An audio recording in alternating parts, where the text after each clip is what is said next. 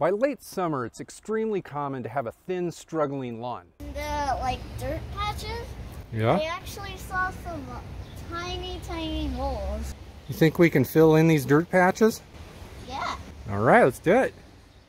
It may have a lot of green in it, like the lawn you see behind me, or just some green in it, but it's probably thinned out quite a bit. Today I'm going to show you how we can fix this lawn and thicken it up in just a few weeks time so that the homeowner can enjoy this lawn for the remainder of the growing season, which is still another three and a half months.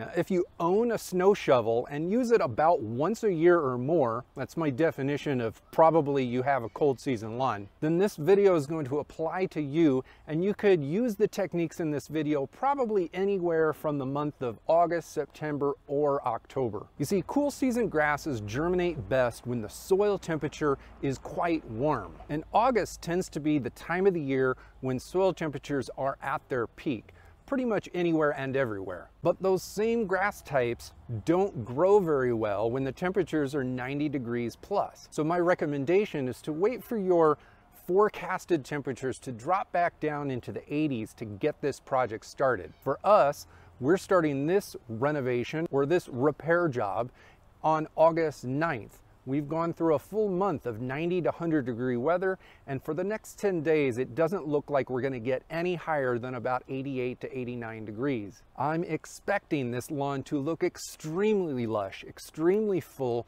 by August 30th, just 21 days from now. So by the end of the video, I promise I'm gonna show you the results, good or bad, after taking all of the steps that I'm gonna go into in this video. This thin lawn fix requires three main steps, and you can get just about everything done on a weekend morning unless you have like a ginormous lawn. And for normal residential lawns like you see behind me, you don't usually need any fancy equipment if you don't want to use it or buy it. The first step to this whole process is getting the lawn moist. I recommend watering the lawn very deeply in the wee hours of the morning just prior to the start of this project. I find it's best to work with damp soil to begin with on this, plus the extra moisture going into the project is really gonna help stimulate the semi-dormant grass and bring it back into growth mode just as we're starting to see the first hints of autumn. Last night in this lawn, we experienced a drizzle through the night and then we irrigated first thing in the morning. Now before we take the next steps, I'm actually gonna go ahead and hand water the areas of this lawn that don't get hit by a lot of rain because they're undercover and the places that the sprinklers don't hit very well. We want to make sure the entire lawn is as moist as possible, but not muddy before we start. Now with the lawn moist, we want to start off first step with a synthetic fertilizer. We're going to be putting down a light dose, however, because our grass is coming out of a period of stress and some of our grass is semi-dormant. Plus we don't want to accidentally burn any part of our lawn. The fertilizer that we're going to use is ammonium sulfate. This is a very common ingredient in mixed fertilizer bags. If you look at the bag of just about any fertilizer in the store, you're most likely going to see at least some ammonium sulfate in it. Now, the majority of you are not lawn care addicts, so just run down to your local lawn and garden store and ask the clerk for help finding straight ammonium sulfate or some sort of fertilizer that has a large concentration of it in it. This type of fertilizer can usually be purchased really as a commodity. The brand doesn't really matter, so the price isn't going to be that high. And as opposed to urea nitrogen, when you apply it to damp soil, it's not going to gas off, so you're not going to lose much of the fertilizer to the atmosphere while you're getting the rest of this project done. Ammonium sulfate is water soluble and it's immediately plant available, which means once it gets down into the soil, microbial life in your soil don't need to transform it to make it plant available. It's instantly plant available and that means it goes to work very fast. Now, if you don't have a granular fertilizer spreader, this is the time to buy one. You don't need anything fancy. Just go grab the Scotts Edge Guard, the thing that's sold in every big, big box store across the nation. You don't even need the elite version. Just the regular basic one, the one that's cheap, will probably work just fine for you. The plan here is to use the fertilizer and the spreader to feed the existing grass in your lawn. Regardless of how thin it may look, there is grass there, and by feeding it and giving it a little bit of water, we're going to be promoting tillering, thickening of the, the leaf blades, growth of the blades, and spreading of the rhizomatic systems if you have a Kentucky bluegrass or a creeping red fescue. Even if your lawn looks dead, I promise you there's a lot of grass in there that's still alive even if it doesn't look alive. Now there are, however, some thin spots in the lawn that could definitely use extra new grass to start growing into those spaces. So right after we drop our fertilizer, we're then gonna go pick up some grass seed and overseed over the entire lawn, right on top of the fertilizer that's on the ground. Now most cool season lawns, like the one you see behind me, are usually a mixture of Kentucky bluegrass, perennial rye, and tall fescue. A mix of them all, a mix of two of them, or occasionally they're a monostand. Unless you already know that your grass, that your lawn is a monostand, I recommend just grabbing a bag of perennial rye and using that to overseed. It's the easiest grass type of them all to grow from seed and it usually blends really well with all of the other cool season varieties. Now this lawn that I'm working with right back here is a mixture of creeping red fescue and turf type tall fescue. So I won't be overseeding with perennial rye. I'll be overseeding with the exact grass types that I know exist in the lawn. I should also say that if you are running a Kentucky bluegrass lawn, you should expect this entire process to take probably seven to 10 extra days. Kentucky bluegrass from seed is the slowest of all of the cool season varieties. Now to spread that grass seed, you're gonna use the exact same spreader that you use to put the fertilizer down. I do, however, recommend hand seeding, just sprinkling grass seed across the areas that it's hard to get the spreader on. And I tend to hand sprinkle extra seed onto the truly bare spots, the spots that are the worst. You'll usually find existing lawns that are already thick but coming out of summer dormancy. Overseeding usually requires scarification of the lawn itself, but for actual thin lawns with a lot of dirt showing, this is not necessary in my opinion. Hey, say hi.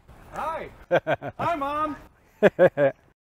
Now the third step is the one that is actually going to make this entire process a resounding success. It's also the step that most people want to skip or will rationalize skipping and regret it later. You have to cover the seed so that it stays adequately moist at all times and so that the seed doesn't move around due to rain, irrigation, wind, or just your foot or hose. At the same lawn and garden store that you picked up your ammonium sulfate and potentially your lawn spreader, pick up a bag of peat moss. These bags are usually around 60 pounds and they can cover about 500 to 750 square feet of lawn space depending on how thin you spread it. I'm working on an area here of about a thousand square feet. So I'm gonna try to cover the entire lawn with approximately two bags. When that peat moss is sitting on top of the seed, it's gonna hold moisture far better than the soil underneath it. And consequently, it's not going to let that seed dry out nearly as fast. The peat moss is also going to insulate the soil from the hot late summer sun, those days where it gets particularly harsh, which is going to further improve the chances of your existing grass performing well at this time of the year. Now spreading peat moss is actually a very messy job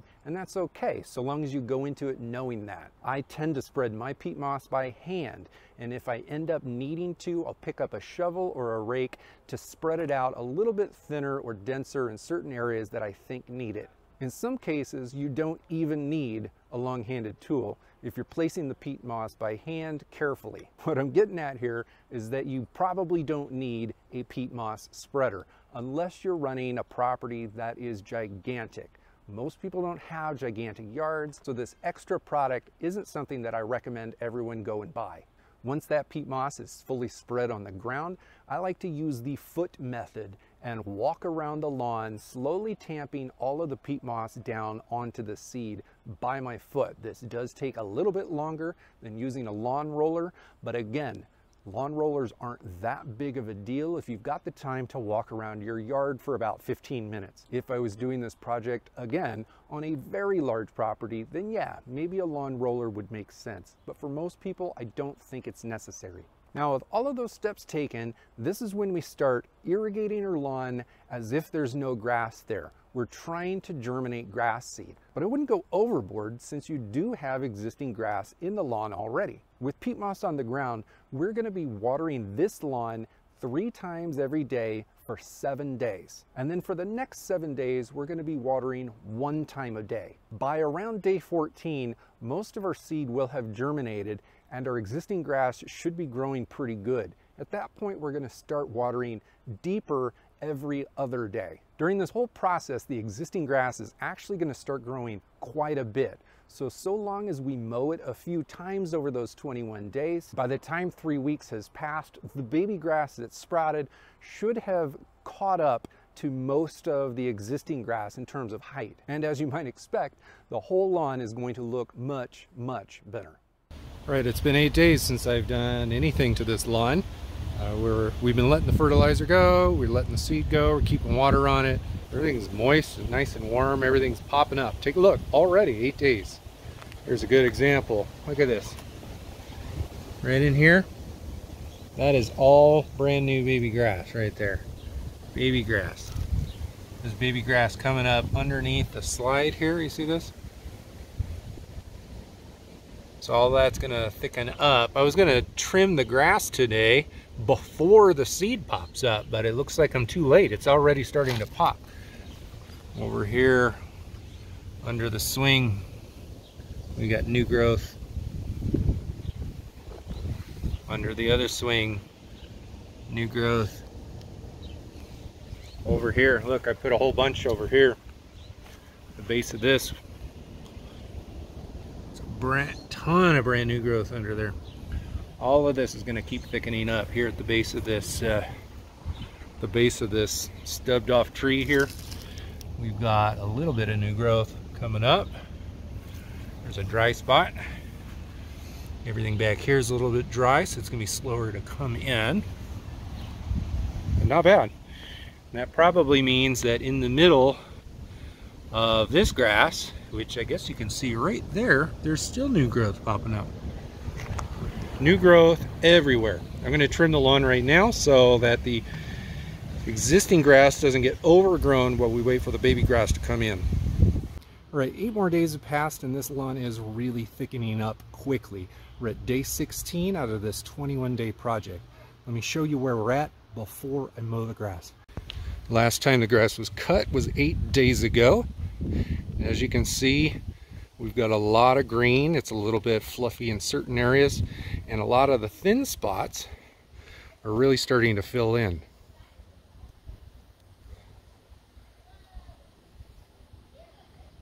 As we look straight down on it, usually this is where it's easiest to see thin spots. And as you can see, there's very little dirt showing. There's still some, but not a lot. We go right into the middle of the yard, where it was somewhat thin, you can see that it is really starting to come together nicely. And we still got five days to go. Additionally, other areas that just never germinated and grew grass well in the spring have filled in with brand new growth. We've got some coming in behind the tree.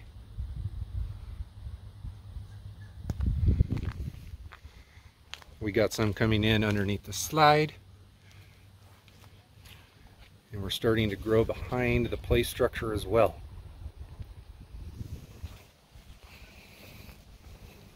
And to my delight, this sunny, dry patch over here, that's always dry and sunny, is also starting to come in.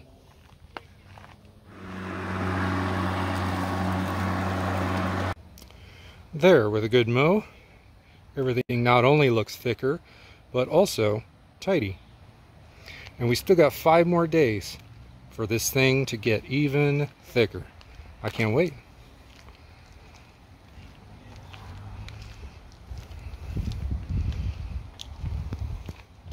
All right, it's day 21 since we applied everything to the lawn, and it is much, much thicker than it was three weeks ago. Let me show you where we're at, but first I'm gonna trim the lawn so that it actually looks as good as it possibly could. All right, now that is a pretty looking lawn. Clean, tidy, thick, Can even see a little bit of striping in there, even though I'm not trying to stripe the lawn.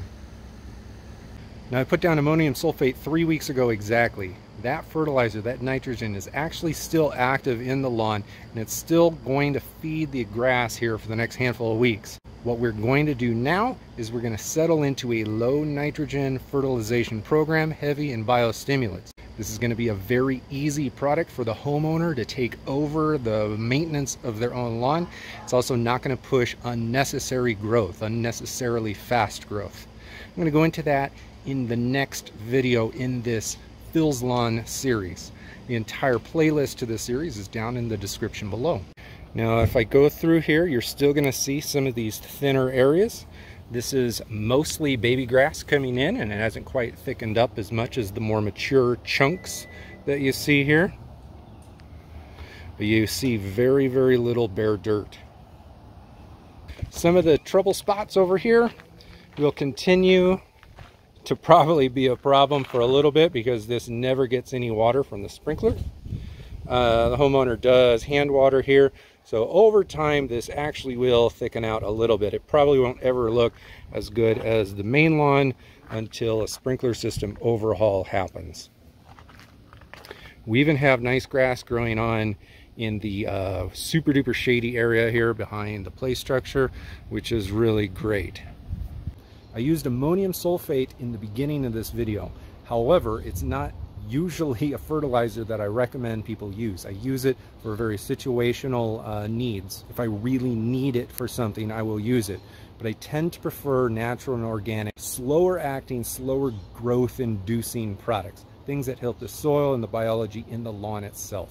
If you're interested in that sort of thing, hit that subscribe button. And I do encourage you to watch my entire fall lawn care guide, which is linked right up here in the corner. It goes into everything about taking care of your lawn at the end of summer, going into fall and all the way in to around the holiday season.